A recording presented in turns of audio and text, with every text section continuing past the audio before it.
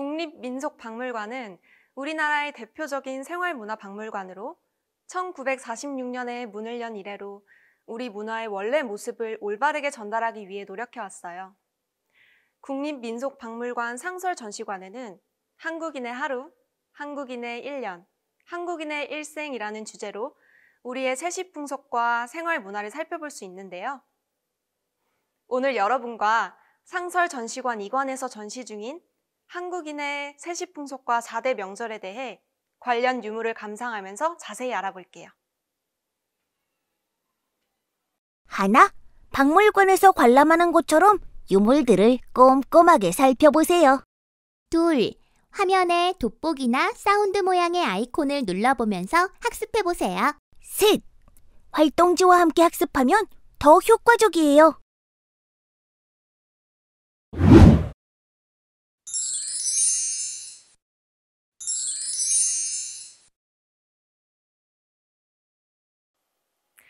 안녕하세요. 오늘은 장생이와 봄에서 여름으로 넘어가는 시기에 맞이하는 명절에 대해 얘기해 볼게요. 예로부터 양수가 겹치는 날을 길하다고 여겨서 명절로 지내는 경우가 많았거든요. 그 가운데 5월 5일이라고 하면 어린이날을 떠올리는데요. 양력 5월 5일 말고 6월쯤에 오는 음력 5월 5일은 여름을 대표하는 우리 명절인 단오예요. 설은 설날을 전후로 3일을 쉬는 명절이라 모두들 잘 알지만 다른 날들은 이름이 낯설어 잘 모르겠어요. 저는 단어도 처음 들어보는데 이제는 사람들이 명절로 지내지 않잖아요. 휴일도 아니고요. 보통 명절이라고 하면 설과 추석을 떠올리죠? 그런데 옛날에는 설과 추석 외에도 명절이 많았어요. 요즘은 휴일이 아니라 잘 모를 수도 있지만 음력 5월 5일 단오도 매우 중요한 명절이었어요. 옛날 사람들이 지내온 명절은 당시 사람들의 생활 주기와 연관되어 있거든요. 그래서 오늘을 사는 우리에게는 그 의미가 축소되거나 잊혀지기도 했죠. 하지만 사람들의 삶이란 단절된 게 아니고 계속 이어져 오는 거니까 명절을 지내는 세시 풍속이나 명절 음식, 그리고 놀이 등은 오늘날 우리의 생활 곳곳에 아직 남아 있어요. 그렇다면 오늘은 단어에 대해서 알아볼까요? 장생이는 여름하면 무슨 소리, 또 어떤 풍경이 떠오르나요? 음, 저는 여름하면 매미 소리랑 시원한 물소리, 여름에 놀러 가서 하는 물놀이가 떠올라요. 그리고 너무 더우니까 시원한 바람이 쏟아지는 에어컨을 절대 빠뜨릴 수가 없죠. 선생님은 지난 여름 시원한 계곡물에 발을 담그고 크게 수박 한 입을 먹었더니 한결 더위가 가시던 일이 떠오르네요. 지금 우리가 지내는 여름과 옛사람들이 보낸 여름 풍경은 비슷하지만 또 참 많이 다를 거예요. 옛날 사람들은 어떻게 여름을 지냈을까요? 저는 에어컨이 없는 여름은 상상도 하기 싫은데요. 에어컨 바람처럼 시원하진 않겠지만 우리 조상들도 여름 더위를 이겨내는 지혜가 담긴 물건들이 많았어요. 어떤 것들이 있는지 전시관 유물들을 한번 살펴볼까요? 네, 좋아요.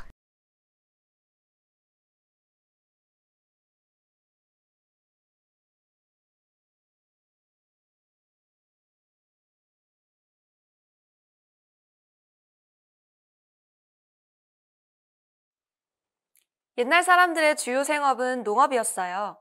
단오가 들 무렵은 본격적인 더위가 시작되기 전이니까 밭에 뿌려놓은 씨에서 농작물이 자라나기 시작했을 테고 사람들이 장마가 오기 전에 모내기를 하려고 했을 거예요.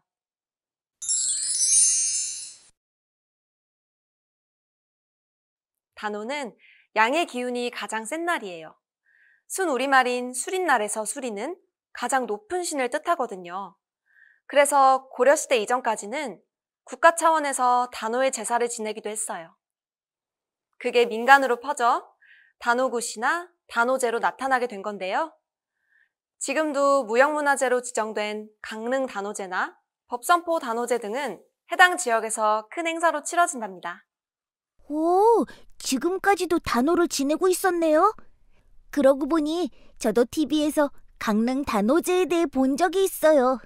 유네스코가 지정한 세계 무형문화재로 등재되어 해마다 많은 사람이 강릉을 찾아오는 축제가 되었다는 뉴스였는데 저는 축제 이름인 줄로만 알았지 뭐예요? 그렇게 생각할 수 있죠. 장생이 말처럼 강릉 단오제는 많은 사람이 모여 즐기는 축제의 공간으로 예나 지금이나 신나게 구판도 벌이고 관노 가면극이나 탈춤, 그리고 산대놀이와 같은 공연도 하거든요. 큰 시장도 열리니까 사람들이 찾아와서 먹고 즐길 수 있잖아요. 예전에는 단오를 전후로 본격적인 농사일이 시작되기 때문에 힘든 일을 시작하기에 앞서 잠시 쉬어가는 명절이 바로 단오였어요.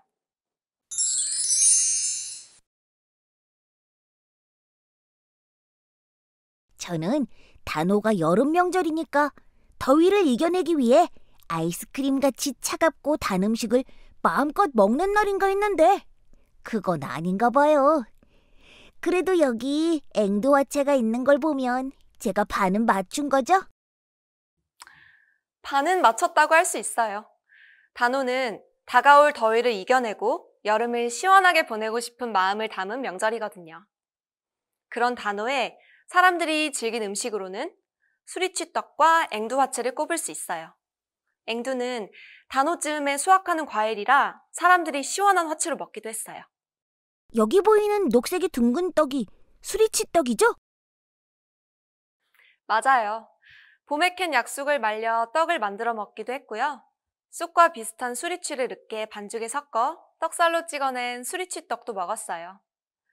단오의 순 우리말이 수리인데 보통 수리치 떡을 해먹은 날이라 수린날이라고 했다는 속설은 잘못된 거예요. 그보다는 더위와 긴 장마로 질병이 잦은 여름을 대비해 몸을 깨끗이 하고 나쁜 기운을 몰아낸다는 의미를 가지죠.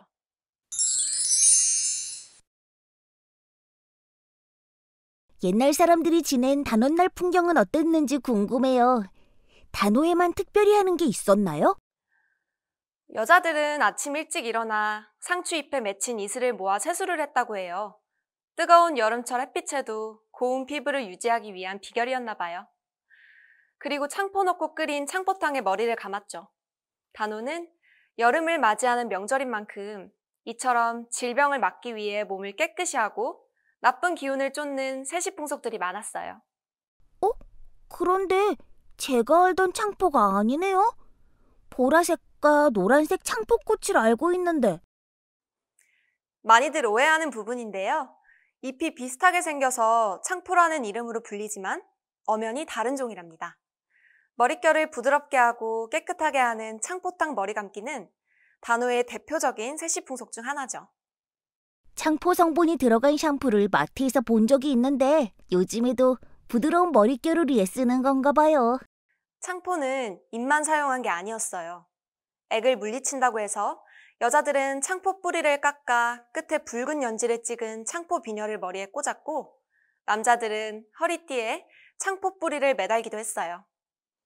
단오날 오시에 강한 햇빛을 받은 쑥을 캐서 문지방에 걸어두기도 했다고 하고요. 쑥을 집에 걸어두었다니 어떤 의미가 있는 거예요? 양기가 가득한 쑥이 나쁜 기운을 쫓아준다고 생각했던 거죠. 같은 의미로 단오 부적을 써붙이기도 했답니다. 그런데 선생님, 단오빔으로 단장한 여자들이 어디를 가는 걸까요? 우와, 그네를 타러 갔네요. 단오날 여자들이 하는 놀이가 바로 그네뛰기예요. 단오날 마을에 있는 커다란 나무에 그네를 매달아 실컷 뛰놀고 나서는 그네 줄을 잘랐다고 해요. 곧 농사일이 많은 철인데 계속 그네만 뛰면 안 되잖아요. 요즘은 놀이터나 공원에 가면 매일 탈 수 있는 그네인데 옛날 사람들은 단오날에만 즐길 수 있는 놀이였네요. 단오날에 즐기는 놀이가 하나 더 있는데 바로 씨름이에요. 명절 분위기가 가득한 단오날 남자들이 모여 힘을 겨루는 씨름 경기가 지역마다 열렸어요. 저기 보이는 사내가 모두를 제치고 소 한 마리를 받았네요.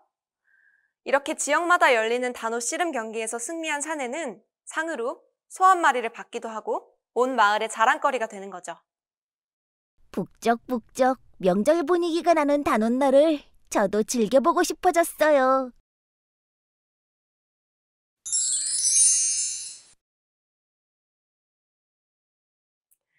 여름으로 넘어가는 명절인 만큼 우리네 옷차림도 못이나 삼배로 만든 여름 옷으로 달라지는 지점이 단오였어요. 그러고 보니 전시관에 있는 저 저고리와 치마는 얇고 시원해 보이는 여름 옷이네요. 여름이라 부채도 함께 전시해 놓았나 봐요. 안 그래도 단오 부채에 대해 이야기해 주려고 했는데 눈썰미 있게 벌써 찾아냈네요. 제가 한 눈썰미 하죠? 하선 동력은 여름 단오 선물은 부채요. 겨울 동지 선물은 책력이라는 말이거든요. 궁중에서는 단오날이 되면 왕이 신하들에게 부채를 선물했다고 해요. 여름을 시원하게 보내라는 마음의 선물이었겠죠? 부채는 궁중에서만 선물하고 사용했나요? 그렇지는 않아요.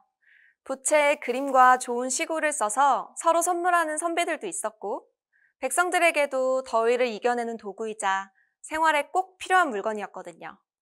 조선 후기 세시기인 동국 세시기에 보면 중국 사람들이 고려 사람들은 겨울에도 부채를 준다고 한 기록이 나와요. 이를 보면 사시사철 어떤 용도로든 민가에서도 부채를 얼마나 많이 사용했는지 알 수 있죠.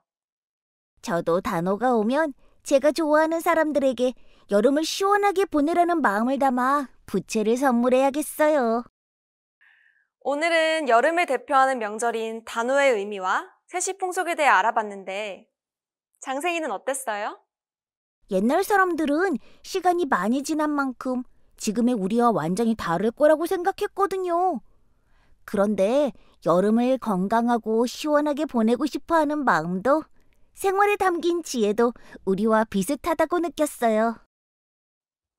맞아요. 그래서 오늘날을 살아가는 우리가 옛날 사람들의 생활사를 배우고 거기에 담긴 의미를 되짚어보는 거죠. 우리도 올여름 건강하고 시원하게 보내요. 단오 명절을 지내던 옛날 사람들처럼요? 네, 좋아요.